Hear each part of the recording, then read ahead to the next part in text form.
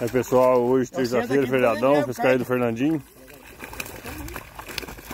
Deu três lá pra, pra ajudar a soltar o peixe, trabalha muito, mas sargou o frito.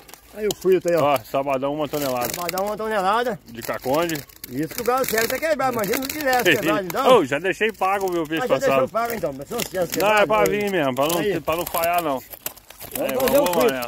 Bora mexer o doce. Vai mexer o doce. Bora mexer o doce. Tem peixe aí? Você não tá indo embora agora, mas deixa eu ver o que você pegou também.